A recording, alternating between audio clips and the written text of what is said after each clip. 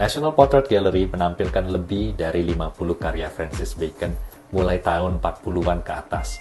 Dalam pameran ini kita bisa melihat bagaimana perjalanan seorang Francis Bacon sebagai seorang seniman realis harus bertahan di tengah mulainya tidak populer seniman realis di Inggris tahun 50-an dan orang mulai menyukai karya-karya seni abstrak sehingga Bacon menggunakan karya seni ekspresionisnya dalam realisnya sehingga memberikan nafas baru kepada karya-karya seninya. Francis Bacon bisa menemukan koneksi yang kuat antara potret dan genre atau tipe seniman karya seni-karya seni tradisional sebelumnya.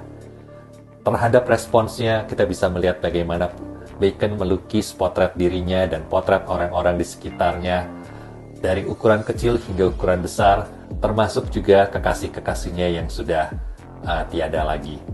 Dalam pameran ini, kita bisa melihat pameran karya seni self-portrait Francis Bacon, Lucian Freud, Isabel Ralston, dan kekasihnya Peter Lacy dan George Dyer. Saksikan pameran ini dalam liputan singkat ini.